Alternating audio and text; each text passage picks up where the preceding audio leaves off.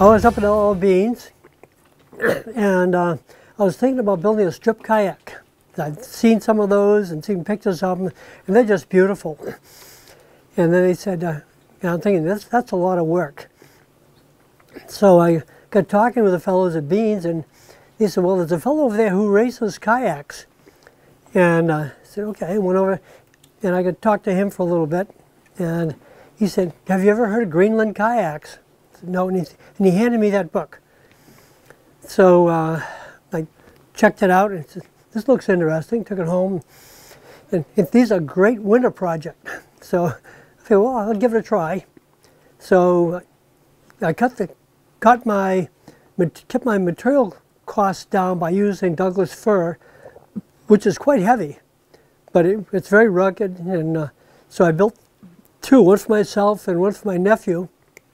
And then uh, my wife and I were down in Boston at a Red Sox game, and we came home, and the whole, we got home about 12 o'clock at night, and the whole neighborhood was just lit up, glowing.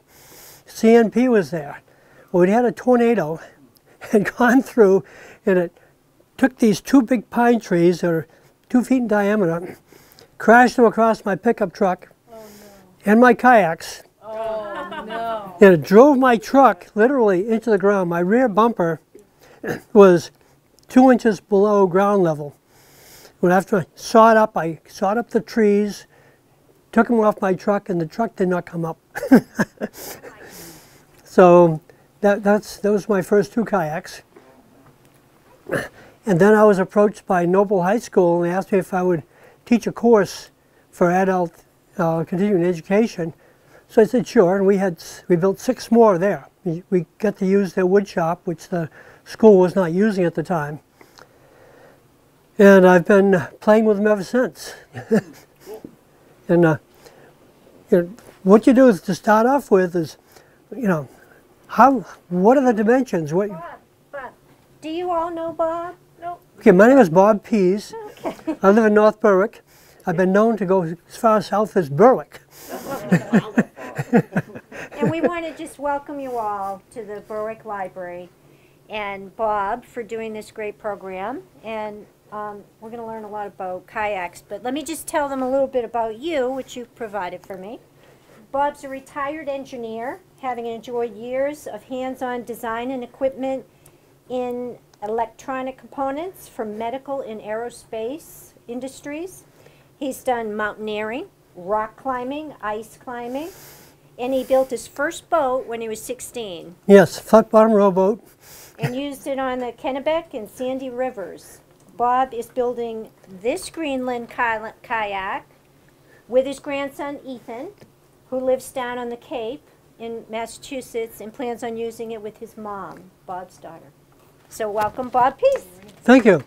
That sounded pretty nice. Wish I knew that guy.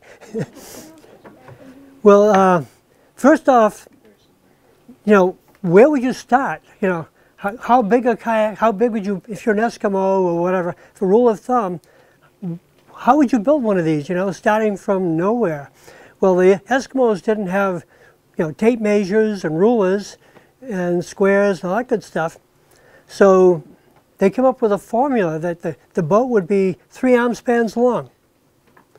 And then, uh, you know, as far as, well, how do you proportion things? Where would you put the ribs and the, the, the seat and everything else? Well, evidently they went down to the lumber store and got a board like this.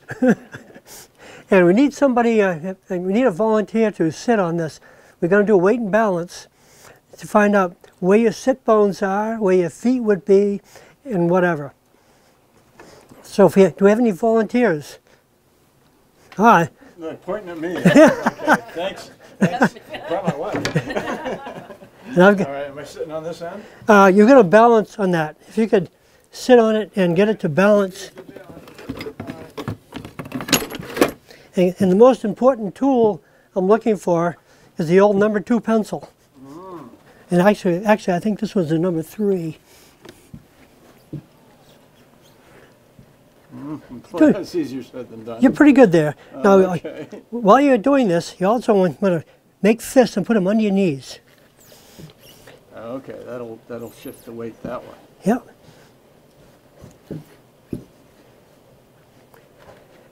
Oh, you're good. You're good. You're, you're there. You, you are there. And now, I've got a piece of rib stock here, but I'm going to use it for a story pole. I'm gonna, you can uh, relax, but th- this uh, will mark down as a center line. And then if you would reach back and feel where your hip bones, your sit bones are sitting, My hip bones? where, where you, the, my the, butt? the butt, where your butt is going to hurt because these bones are sitting on the wood. Oh, okay. Probably right here. Okay. Okay, so I'm going to transfer that.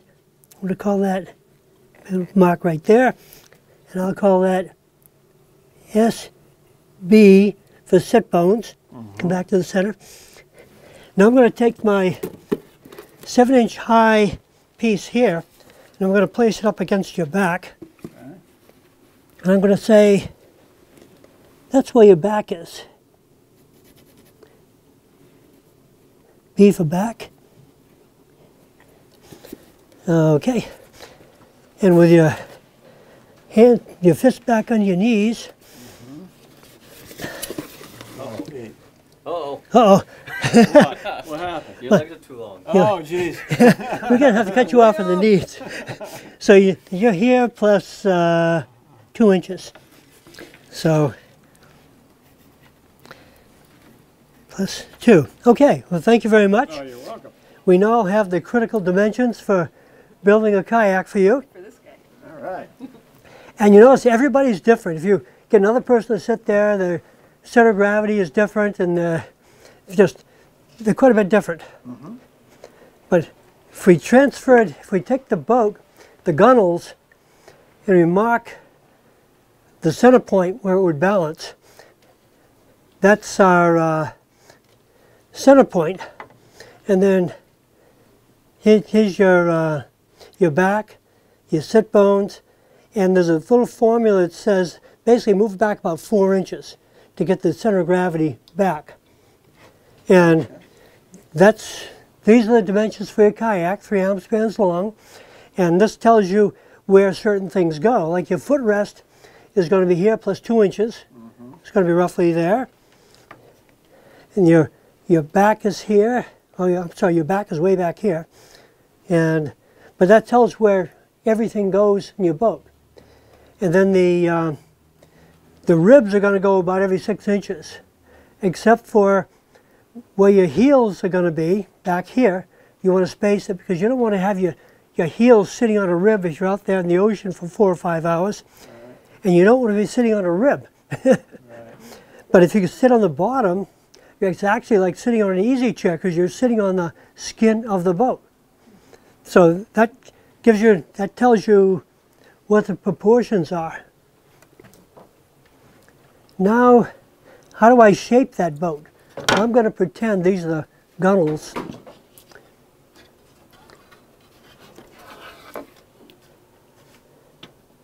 And can I, use- can I borrow you to help me here? I need you to go that, to that other end, and I'm going to go here and just put those. I'm going to pretend these are the chines. And they're going to go right inside there, and then we're going to spread them apart. I'm going to slip these down a little further, something like that. That's perfect.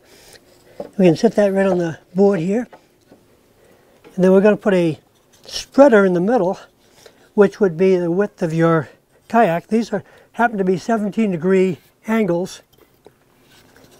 And the idea is that these might not be long enough so they can actually do this, but the idea is to spread these apart.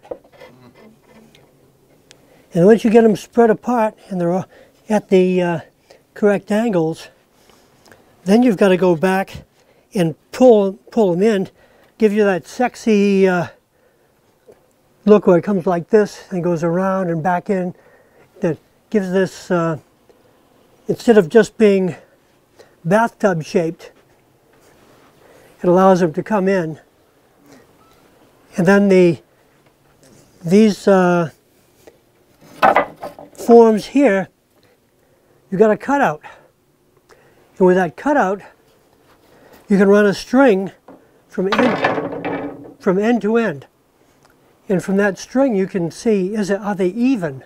You can just go to a point, you can measure if it's, say, six inches this way, six inches that way, that's good. If it's six and eight, that's not good. So then by moving your spreaders and your, your squeezers in, you get it all uniform. So you've got your gunnels all set. And then the next thing you need to do is, how am I going to maintain that? Well, you've got to, got to put deck beams in. And to do a deck beam, they come up with some very clever fixtures that I hope I brought.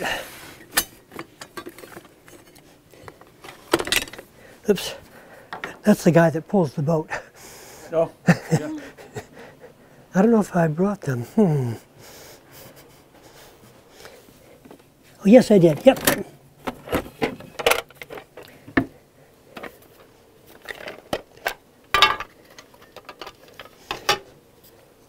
This little chevron piece here is very clever.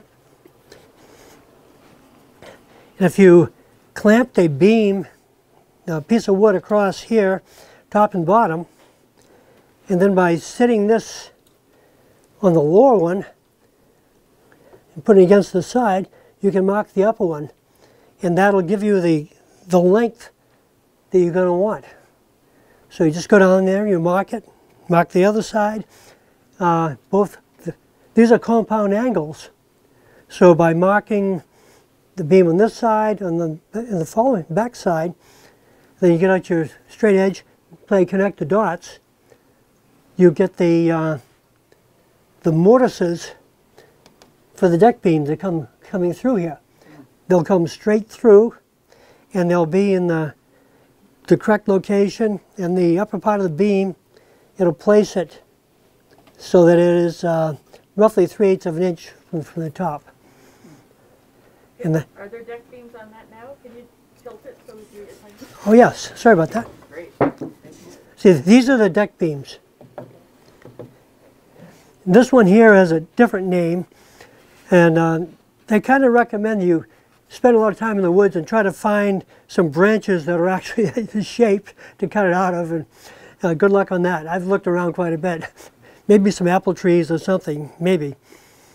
But, uh, and then these other ones I've just sawed out. These two here are curved, all the rest of them are straight. And this has no metal fasteners in it. There's no, you know, obviously they didn't have nails and screws. So everything is either tied together, they would use sinew, or, or, or doweled. And uh, my, my grandson was a, really had a good time using you know, electric drill, drilling holes and tapping in the quarter inch dowels and sawing them off with a little Japanese pull saw. These things are fantastic because you can, there's no set to them. So you, you saw, it cuts flush and uh, everything will be flush. So when you put the skin over it, there were no protrusions anywhere. So it's a very handy tool. And he didn't nick any fingers. so you can see that the high-tech tools I've got here, you know, I've got a cheap drill and uh, Danish uh, oil for for finishing it. You basically, if you, I figure any place where this goes in, the water can't. So they're more or less waterproof, and it gives it a nice. It's a piece of art when you get done with it. It's really beautiful. I threatened my wife I was going to put it up on the wall in the living room, and it didn't go over well.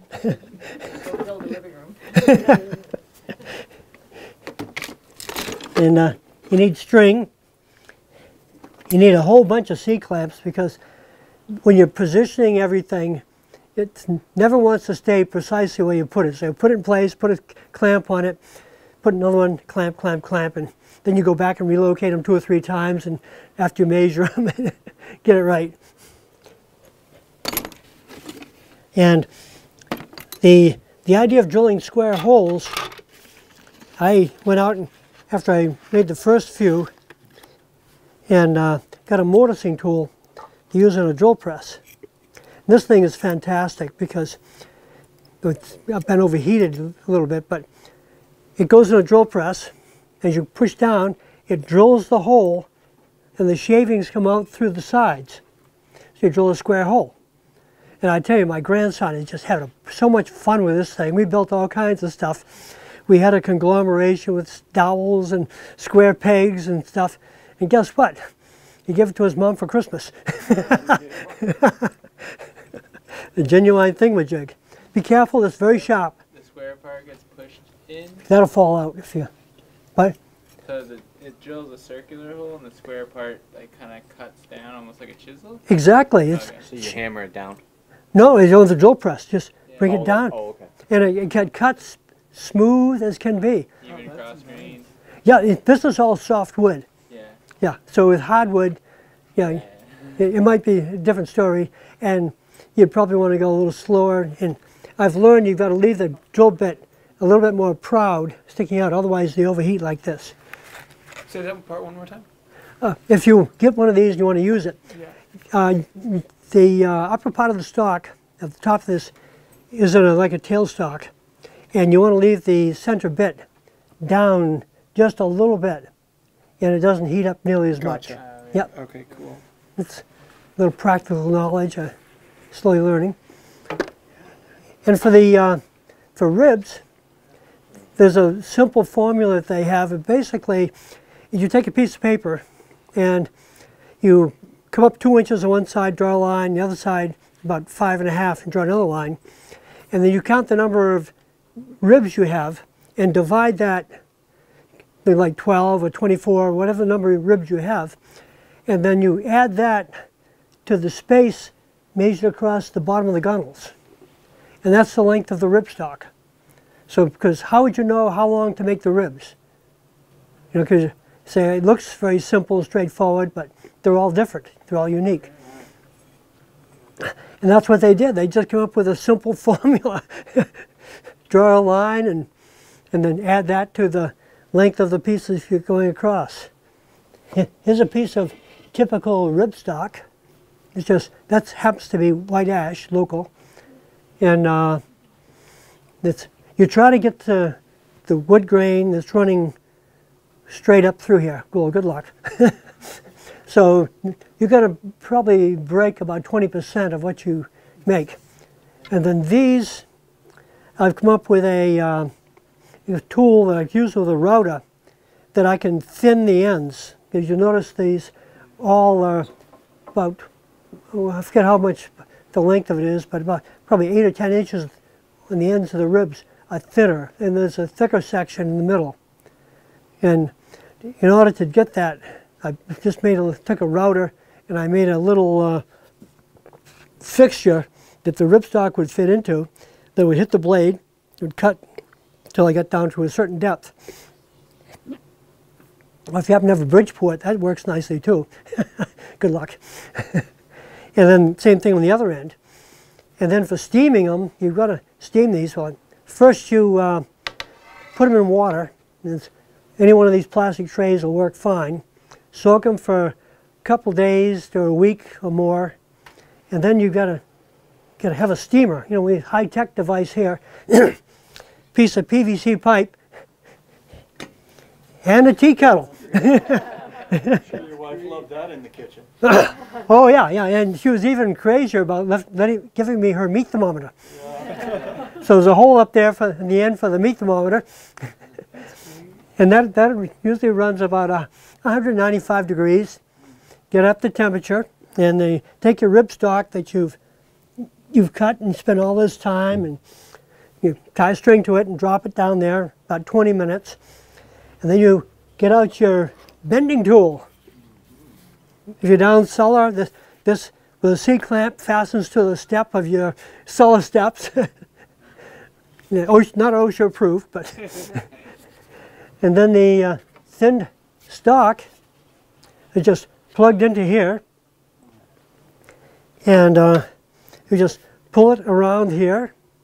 It's hot. Tuck the other end in there and do the same thing. And then you run over to the uh, chines and uh, the gunnels, rather. And you have already mortised the holes. You've got all these square slots mortised into, into here. And you, you you've got a hold of this warm, pliable piece of wood, and you just stuff it in here, stuff it in there, sort of push it down, and you got to do all the ribs all at once, because you have to get your gunnel, get your uh, keel to mate up with all of them, or pretty close. Some of these at the ends, you'll always end up putting blocks in here, spacers. And uh, then once you get them in place, they're all, I drill holes through them. You can put, run these, the string or the, the nylon cord over them, but if you do, you're going to have little bumps, you know. And me being a high-tech, super fast paddler, I'm sure it would slow me down. Maybe not. And uh, so I, I drill the holes and lash them down continuously, and you get them all lashed. And these are doweled, and no screws in here, no metal fasteners. Then you saw it off, because you have to fit this thing. That's another operation that's interesting, that uh, how you fit these, uh, the, they call them uh, cut water, I think they call this. They didn't call it a bow, bow piece, whatever. But then it, that is all tied in as well. Any glue at all? Definitely, but it's not mentioned in the, the book. but yes, I definitely have some glue in here. Uh, this has glue under it, and my I added a 3 8 spacer to this just to make it a little wider for my grandson to give it more stability. So I've got glue in there, and I actually used, uh, I cut a notch across here. This is TIG wire. It's a 300 series, uh, probably 316 or 304 stainless wire, so it shouldn't rust. It's very good stuff. You don't want to use uh, 300 series stainless. I mean, you don't want to use 400 series stainless. The stuff will rust. But 300 series will not rust. And uh, then I added these. Uh, they should fall, I hope, a little bit below the canvas. Well, I guess they're not.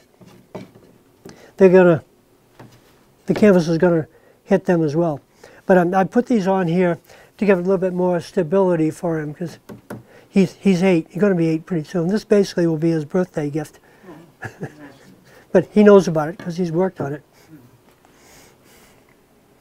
So, do you all feel adequate, to be informed that you could build one of these now? yes. Yeah, just a quick question. O- Obviously, this is, you know, tremendous amount of knowledge that comes from your head. You have to follow it step by, I'm sure sequencing plays a big part, right? The- What to do when. The book is fantastic.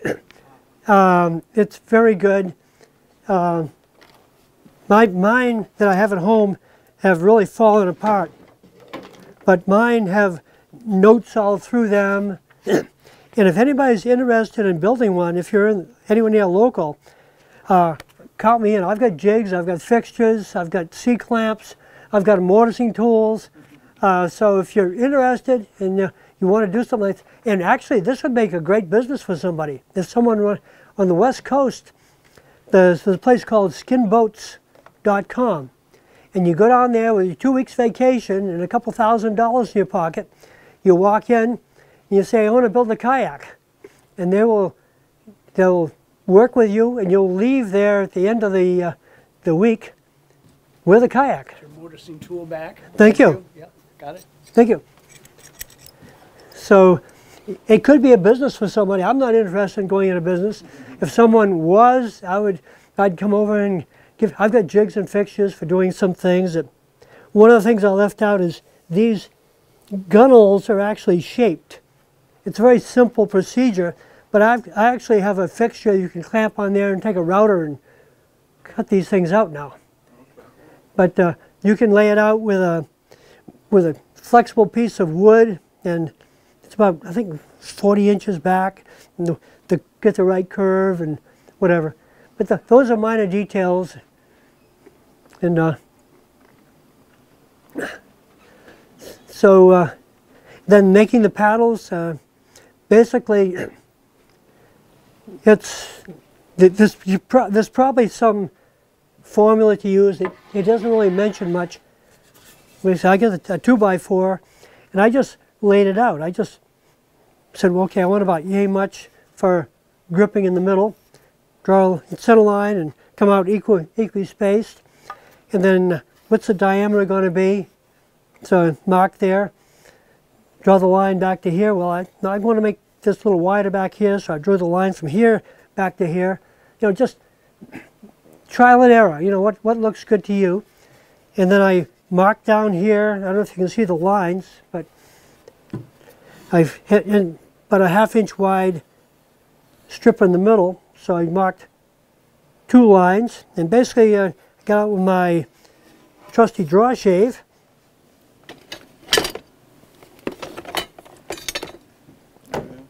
And just start whittling away. This stuff whittles very nicely, you know. This, and, and I also learned when you take those shavings off, don't throw them away or burn them. Take them to your library. The sewing courses, they put them inside little bags and makes you makes your closet smell nice.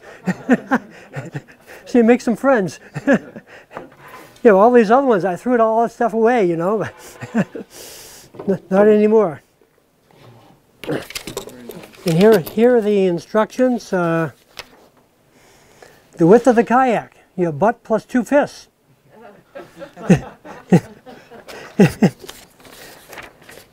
you know, your length of the kayak,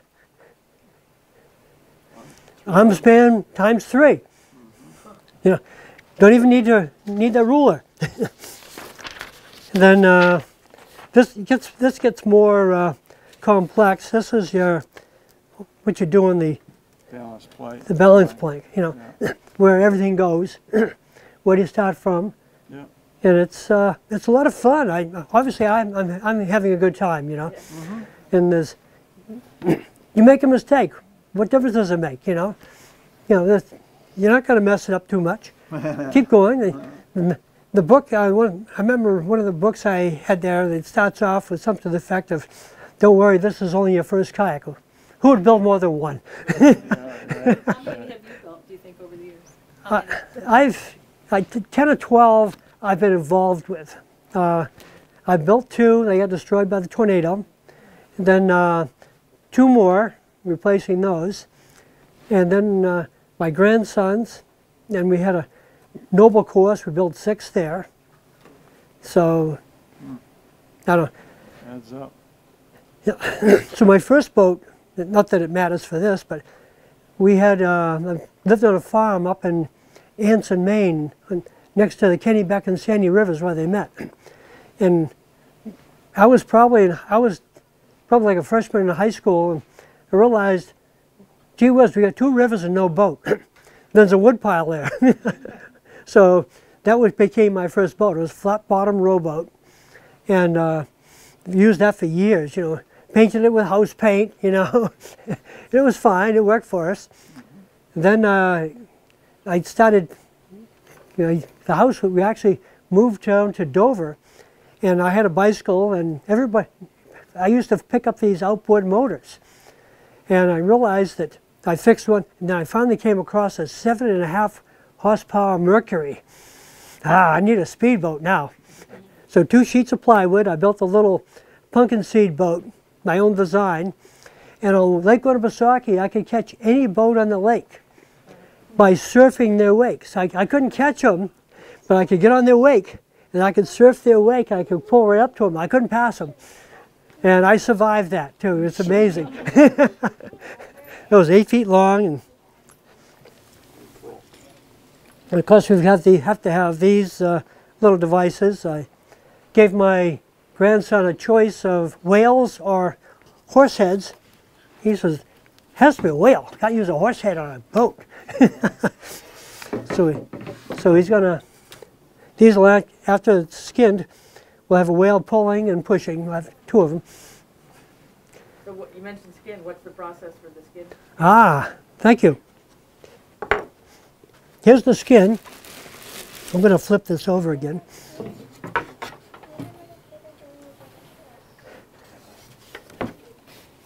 My family's been bugging me. When are you going to finish that? When are you going to finish that?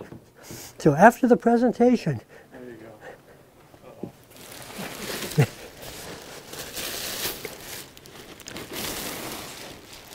Oh, just to, for the fun of it, I went up and ran. I ran a 15K race this past week. And I've got one of these I use as a raincoat. I cut a hole in it. It's a trash bag from North Berwick. So it's running white trash. I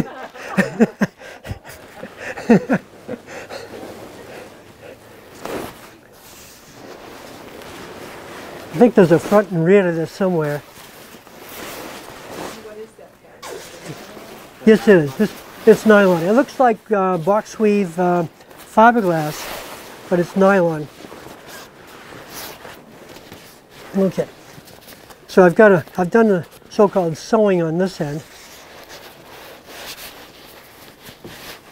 So that will sit on there.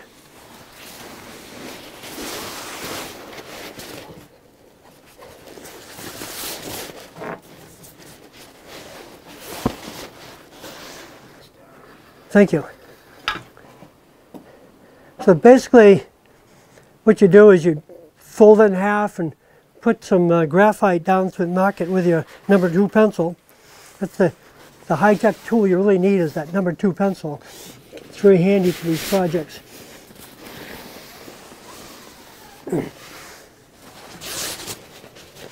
Then you're gonna, gonna stretch that, pull it down and stretch it and do the same thing here, sew it.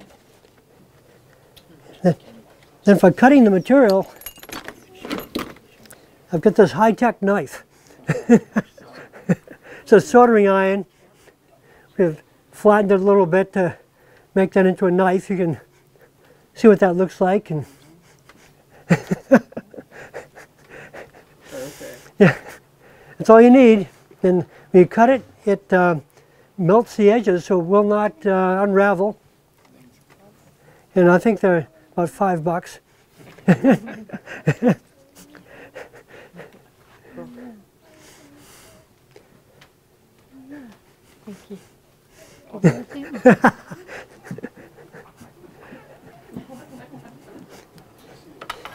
So as far as tools, uh, oh yeah, to, now once you get that round there, then you tip, flip the boat over and you pull it together and stitch it up as tight as you can.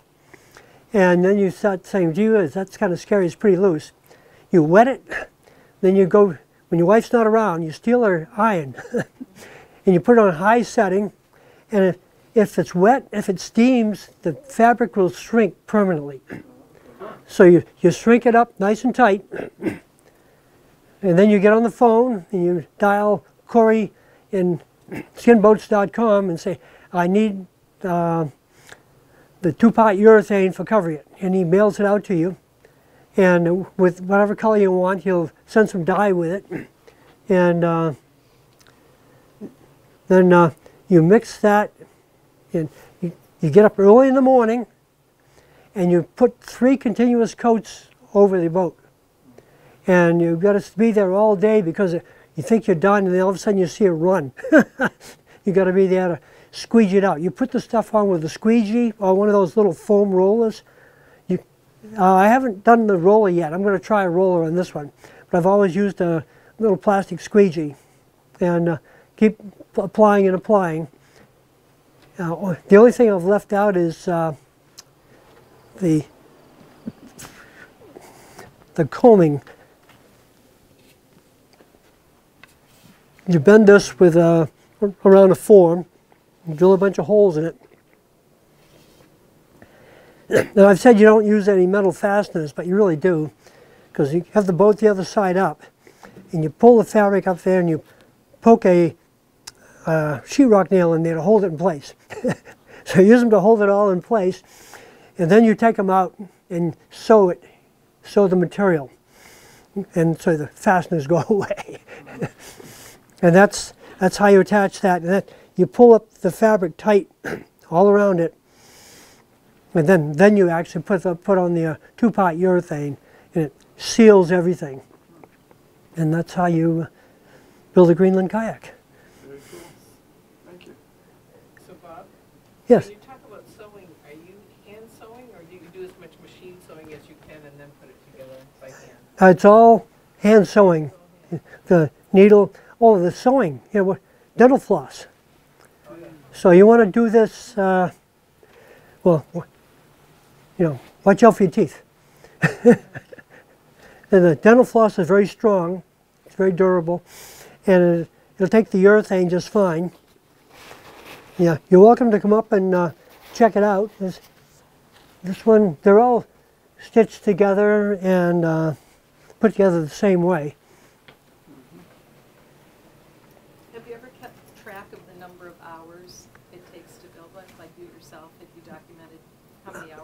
I really haven't documented, but the first one, people would tell me that you can do it in 80 hours, easy. First one was about 200 hours. Because I didn't have any jigs or fixtures, and it was, how do I do this? Back to the book, you know, upstairs. It's good for exercise. You go up and down the cellar steps, and you get to that point, and then you start to realize, write in the book. Get a book, write everything in there, you know, then you can do the next one, it's all already in there with the stuff you forgot. but then I think that right now, if I were, if I was going to do this as a business, I think I'd come up with a compromise on design and make them all be the same. You know, then then you could standardize things, and I think you could probably knock them out in under 40 hours. but uh, your first one, I'd say two weeks, and it's a great winter project. when you're, if you've, you know, down, if you got a cellar or like garage is not really too too great a place. It's probably too cold in the garage, but uh, the fabric, even the fabric, uh, they say when you put this on, you want to be below 50 degrees for putting when you put the fabric on. But the my cellar is not heated. It's about 45 degrees. So I just wear maintenance, put the jacket on, long underwear, go down there and enjoy. Mm-hmm. Yep. So, and you know these things here. they- See, wow, how how'd you ever build that? Well, piece of plywood, and you you cut, take some two by six or two by fours and make some put some blocks that are going to be that you're going to bend it bend around, and just screw them down or nail them down, and then you get your PVC pipe out and your tea kettle and your wife's meat thermometer, and you put the long piece in there and uh, just bend it around. And actually, this thing is not difficult to make. And this one actually is from my uh, one of my first kayaks that got destroyed. This part didn't get broken, so Ethan's going to inherit that. But what about the lift that's on it? It's ex- it's exactly it's exactly the same thing. It's just another piece wrapped around it. Is that two pieces or one? It's probably three pieces uh, or more. See, you, this has a see. There's a seam right here. Yeah, You just bend it right around. So that, that is one piece. Yep, you're right. okay, but the top piece? Or is that? Now, that's a you get this separate piece. Oh, That's- okay, that's a separate piece. separate It's laid piece. over top. Yep. Okay. And then glued. Yep. So I do the. I do the inside 1st Uh-huh. then I did the outside. And the tools, uh, if you don't have a bandsaw or a jigsaw, uh, the reciprocating saws over there, you can do most everything. If you go to the lumber yard and get the red cedar and whatever else, um, they've got nice equipment there. So if you walk in there and say, I I want that piece, but could you cut it, you know, into two pieces this wide, or maybe three, get a, get the, get them to do the hard part. You don't have to have all this uh, ability to cut. I say a 16 foot piece of lumber's 16 and 16. You got to feed in, you got to feed out. So keep that in mind. So if you go to the, go down to uh, Lowe's or someplace to get a piece of Douglas fir or whatever, they're, they're nice enough. Hey, can I saw that for you? Sure can, sir. and you don't have to have that table saw. That, that's a nice thing to know. Is that also made out of ash? Yeah, that is. That's white ash. Yep. They they recommend. Uh, I missed your thumb too. I did pretty good. Yeah. I didn't miss it the other day. But uh, red uh, white oak is also recommended. oh, cool. You go to um, oh, what's a back Oakwoods lumber. That's the ash came from Oakwoods lumber, and uh, you can get oak over there, whatever you want, and it's uh, it's not kiln dried, so you can soak it and uh, it'll, it'll work.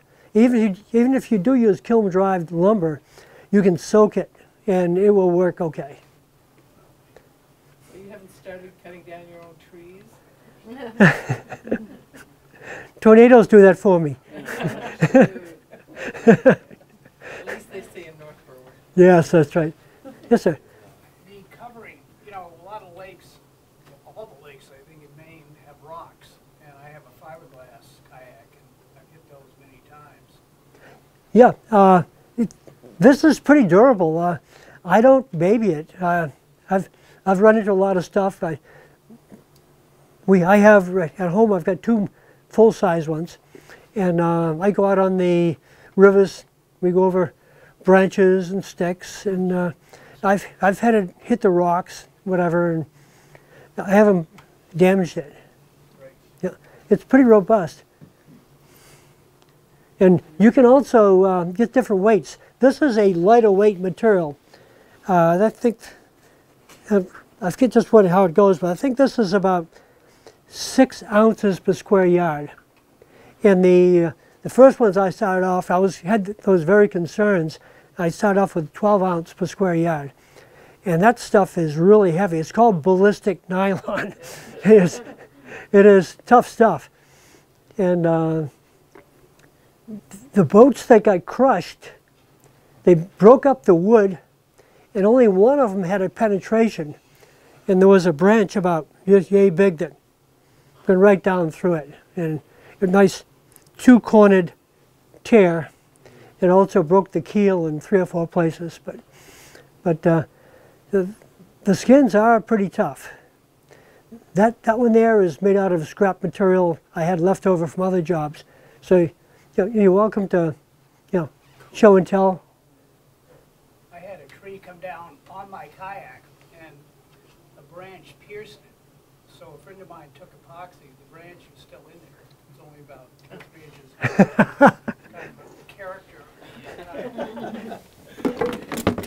Did he have one of these saws to cut it flush? We didn't want to pull it out, I know, but just to cut it flush. so that would have worked. But, uh, you know, the sealing for the wood, you, uh, linseed oil, Danish oil, it works just as well. Danish oil is kind of pretty. Do you reapply that Danish, the oil from time to time? Uh, you can. That's the beauty of it. If you use urethanes, you know, they're, they're horrible. You get these films that peel and you, you can't get them off. These things here, if it gets dull or whatever, just apply another coat. It comes straight back to life. So I, I love this stuff. Do you have to coat the inside of the nylon? It goes right through. Goes through, yeah. That's, that's And it, it also glues it to the frame. So if you want to peel it off for some reason, like after the kayak crushes it, or the tornado crushes it, I've learned you can take an LP torch or a electric heat gun, heat it up, and you can peel it off. Otherwise, it just it'll tear the wood. wow. Yep. So that, that's that's the final thickness. That was a spare for number 14. it's, uh, What's that for a rub? Yeah, it's a spare, just a spare one. This, and this, that one obviously is the same width all the way along, but the way out. the other ones, if you look inside the boat, they're thick in the center. Yeah, okay. Uh, do you build it on a strong back, No, just a flat surface? uh, not even a flat surface. I use, uh, I, it's a good question. Uh, you need a strong back for building uh, like cedar kayak, kayaks, the strip kayaks, whatever. But for this, you do not.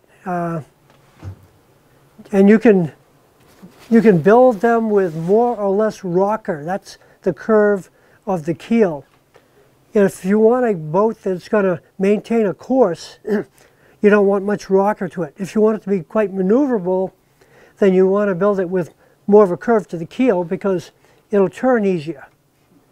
And no matter which way you build it, it's going to be wrong because, because you're going to be in conditions where you want, to, want it to have the other properties. so there are no right answers. There are no wrong answers, therefore. so On that extra one, you have little outriggers. Is that typical? Or? no, that's, that's the only one in the world that I know of. Oh, okay. Yeah. That was built for a two-year-old. Uh-huh. Okay, gotcha. So my grandson's been paddling since he was two. Ah. And there's a lady down in Somersworth who does laser markings. So if you cut out little wooden plaques, you can put the any anything you want to write in there. You know. So this new kayak has got um, says t- to Ethan from Grandpa. You know his birthday on it. And the other side to make mom and mom happy, it's got emergency numbers. so we've, we've, we've covered that, we think. Do you usually wear a skirt with with these ones, or That, that is what that is made for. That's that rib around the top. And I do have skirts, and I've used them. And uh, But- learn how to roll as well? yeah, I, I, I've, I've taken the course, but I'm not confident. You, you younger kids here, you, you can do that. You, you'd be great. Yeah. And in the book, come to the library, pick up this book. It explains how to do the rolls. There's everything in that book. It tells, you know, how to basically how to make a little spear thrower and make it wide so I can use it to do your rolls with too. And then we're going to put I'll put um, bungee cords across the deck because when you're out there, you want to stop for lunch. You've got to tuck your paddle in there and uh, be comfortable while you're sitting there.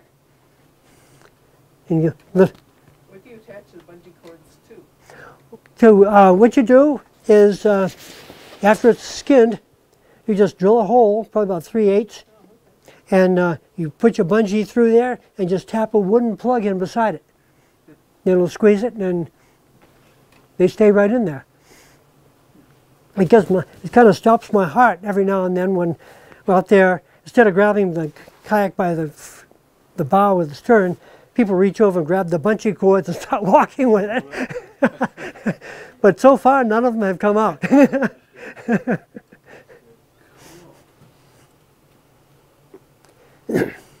oh, here's some uh, you know, major fixtures here. If you want to draw a line across a piece of wood, three eighths up, just put your number two against it and run along. And if you want to line one inch up, there you go again. You know, simple little fixtures that are explained in this book. This book is really nice. It's, it has, you know, it answers lots of little questions that, that you're going to show up in your mind later on. And it gives you three or four different ways of uh, doing things. Like here's shaping the, the gunnels. You can, you can do it with a chisel or a draw shave, or you can saw it out on a bandsaw or use your reciprocating saw. There are many ways to tackle it, and that's the fun of it. Mean, uh, it's lifelong learning. that's what life is all about. Is have fun and uh, do stuff and experiment. If, if it isn't right, well, blend it, make it work. Um, have you always been into woodworking, or I mean, how did you get pulled into that? just by doing it. Uh, I'm, I've, the, you know, it's career-wise, I was, uh, I worked in aerospace. Well, I started off working for Boeing, then I got into electronics, worked in uh, medical uh, components, uh, tantalum capacitors, and working in stainless steel and designing product and put the other hat on. You work with a, as a chemical engineer because that's what you need. And I was fortunate. I worked for a small company. I had to wear lots of hats, and uh, I just enjoyed it. You know, having fun. I went to school nights. Uh, I started off with uh, at Wentworth Institute. Then I went to UNH nights for years. Where having a kid, driving back and forth from Biddeford to over to Durham, and yeah.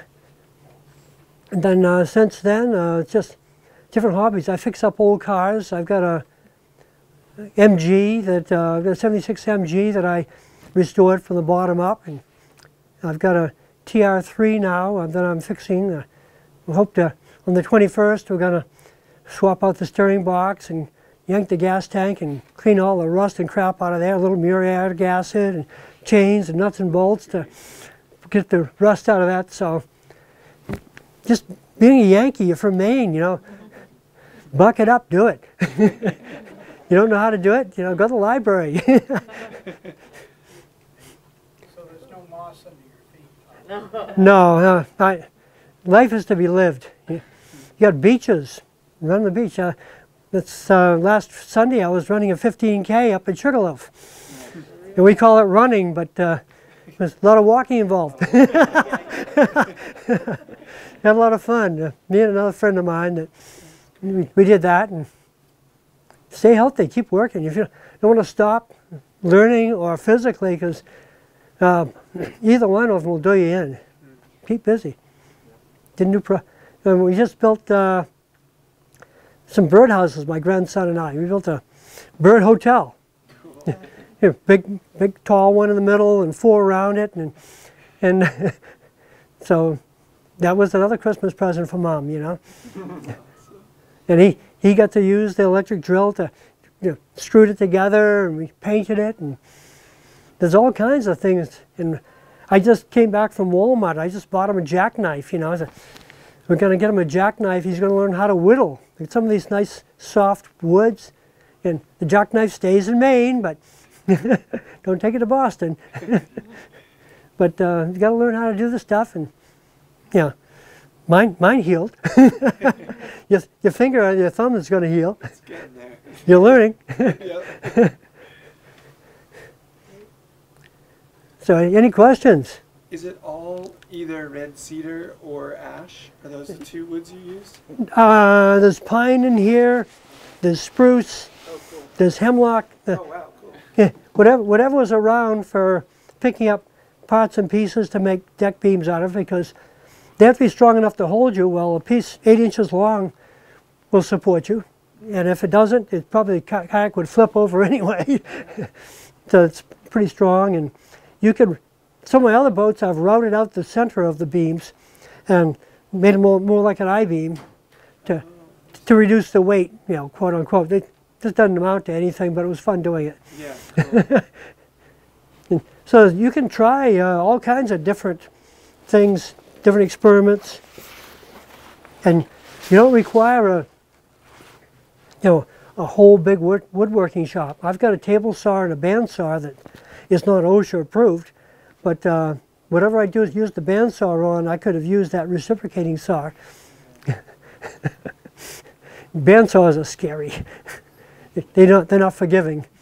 So uh, that's much more forgiving than a bandsaw. What do you do for float bags? Have you tried making your own? Oh, no, no. Float bags, it's called uh, milk containers. Okay. Oh, yeah. Yeah. Each one is 7.3 pounds of flotation. So this boat, when it's completed, will weigh about 20, 25 pounds. So you stuff a few gallon milk containers in there. You know, yeah, that'll do it. Save all that work you didn't have to do, Sean. Yeah. Just buy a milk jug. And, and this book here explains how to do make flotation tanks. Everything is in here. If, this book is really amazing. For, for if anybody's really considering making one, it's got uh, it even shows you how to make a collapsible kayak in here. With the uh, and it, it shows you how to make the clo- clothing to wear. So if you're out there in January and you roll it, you know, how do you see? They've got the clothing that you can wear in there, not freeze to death or drown. Or, no, thank you. Don't show that to your grandson. But he's going to try that stuff. We, we tried it all when we were kids. You can put a keel on it. Uh, Do you have any designs for multi-person? boats? No, no. The kayak means hunting boat. it's a singular thing, I guess. But it, here's your spear thrower. you know, it's got it's got all kinds of stuff to get your imagination. Flotation device. After you kill that seal and you've harpooned him, you hitch this to the other end of that harpoon line. Let him drag it around for a while.